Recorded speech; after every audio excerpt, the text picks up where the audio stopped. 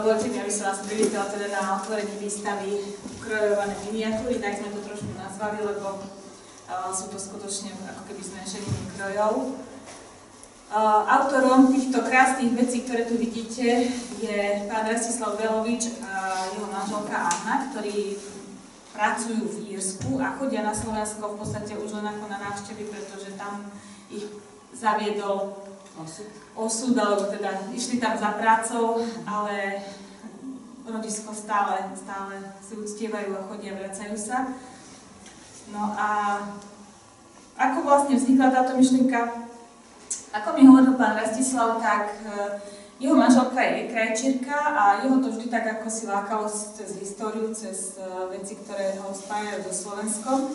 A boli v skanzené Zuberci a tam mu nejaká pani povedala, že je toho teraz málo, že vôbec takéto veci nie je dostať. Tak sa s manželkou dohodli, že to skúsia.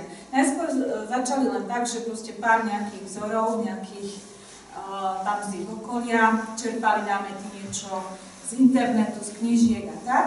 No ale keď zistili, koľko variácií a koľko rôznych uh, podôb môže mať slovenský kroj, tak sa rozhodli, že teda budú mapovať postupne, ako im dovolí čas a samozrejme prostriedky, mapovať celé Slovensko. Takže postupne rozširovali túto zbierku. Teraz tu vidíte 72 bábik, už sú tu aj mužské postavičky, to na začiatku nemali. No a keď sa rozhodovali, ako sa do toho pustiť, hľadali vhodné materiály samozrejme, ale aj bábiky. Tak rozhodli sa pre bábiky Barbie, ako vidíte, ako ich poznáte, takže americké bábiky máme v slovenských krojoch.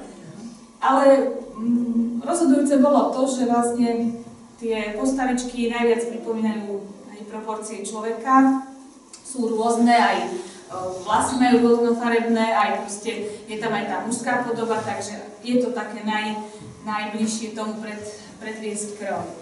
No, uh, ako som už spomenula, babiky kupovali v nejakých sekáčoch, výpredajoch, uh, takisto zháňali rôzne tieto materiály. Niektoré kroje mali rozrobené veľmi dlho, lebo nevedeli zohnať adekvátny ten materiál, tú látku alebo tú vyššiu, ktorú potrebovali k tomu.